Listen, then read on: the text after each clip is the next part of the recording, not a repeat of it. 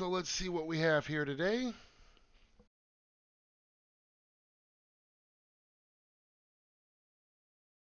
All I gotta say is, you better not be trolling us, Warner Brothers.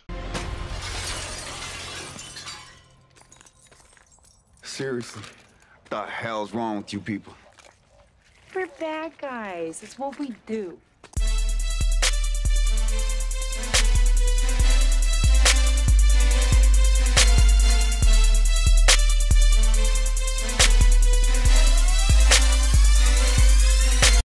Welcome to Strong Arm Flix. I'm your boy T Flame, and this is episode 40 of Strong Arm Flix. So, Warner Brothers is not only showing their support for Zack Snyder's previous DCU movies, now they're showing their support to David Ayer's Suicide Squad, which has also been highly tampered with. Um, released the Ayer cut. It's been clear from the beginning that Warner Brothers hacked Suicide Squad up into a million pieces, completely changed the third act, cut the Joker out of the entirety of the film, and reshot Harley Quinn's arc. It's very clear that David Ayer was extremely happy when he noticed this image on Twitter um, where it showed Warner Brothers showing their support for Suicide Squad. This obviously made David Ayer very happy as he re- seen it, he liked it, and he retweeted it, and it's on his Twitter right now. It's a quote from Harley Quinn, and it says, "We're bad guys. It's what we do." David Ayer also has one hell of a sense of humor. Um, the other day on Twitter, a post went up, and it was created by amateur watcher TPZ, and it's about Zack Snyder and his time at DC. It's an image of Zack Snyder looking at another director named Dennis. It reads Dennis.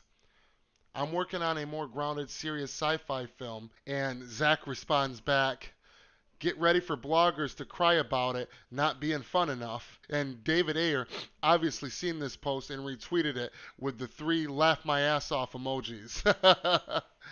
oh man, I, I fuck with David Ayer, man. He's a real down to earth dude, got a real good sense of humor, and um, he's just constantly showing his support for the release the Snyder Cut uh, for Zack Snyder. Um, he respects and uh, looks up to Zack Snyder. And like I've been telling you guys, Zack was gonna give us was gonna be uh, DC's version of Kevin Feige. Zack was going to handle all the superheroes and give us his five film five film arc, and David Ayer was going to give us the badass supervillains. It's a shame what happened to not only Zack Snyder but also David Ayer, which doesn't get talked about quite as much. And I would like for that to change. I would like for um, people to start realizing that David Ayer, he's not a as well established director as Zack Snyder, and you can tell that he is extremely worried. He wants to support the Ayer cut. He supports the Snyder cut, but he's scared to come out on his own and say what happened behind the scenes.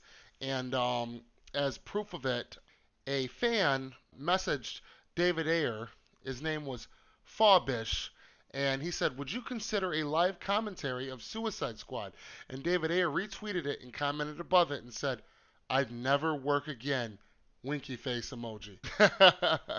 and basically, that's his way of saying that he knows what it is, he knows that we know what it is, and that he, in his own way, is showing his support for his own cut and for Zack Snyder's cut of Justice League. He doesn't have the following that Zack's quite that Zack Snyder has, so he is kind of scared of what way that Warner Brothers would react and how you know would he ever you know just like he said if I came out I got so much shit to say about what happened behind the scenes of Suicide Squad I'd never work again. As in they'd fire my ass and I wouldn't I'd be blacklisted. I probably wouldn't be able to get a fucking job anywhere but the things and the, the, the times are changing over at Warner Brothers Studio.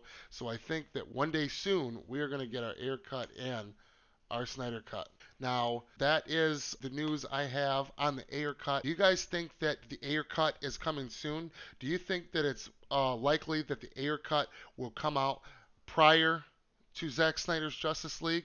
Let me know what you think about that in the comment section below because the way that I'm feeling, I'm thinking that Warner Brothers is planning on releasing the Ayer cut and the Snyder cut at this point. Now, not much this week um, to report on about the Snyder cut.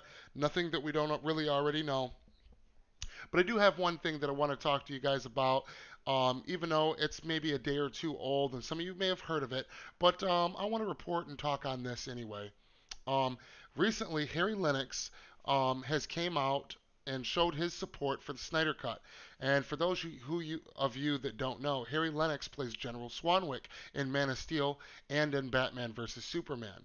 And Zack Snyder has revealed that General Swanwick was go- there was going to be a reveal in the Justice League movie where General Swanwick was really going to be he was going to be Martian Manhunter.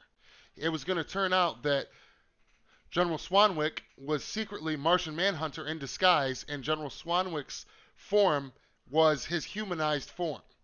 Um, and he was going to be in disguise because he's a shapeshifter, as you all know. He was going to be as dis- in disguise as either Lois or uh, Martha. A lot of people speculated it was Martha, but we just the truth is we just don't know all the exact details on that.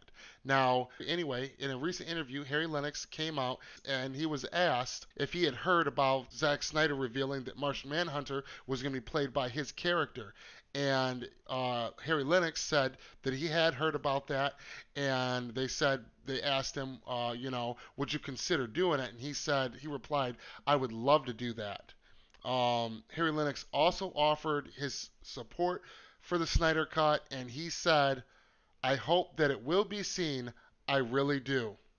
And that's the flick. And if you like what you see, like what you hear, please smash that subscribe button and ring that bell. And as usual, I'll be bringing more DC and DCEU content, so subscribe to me for all of that shit.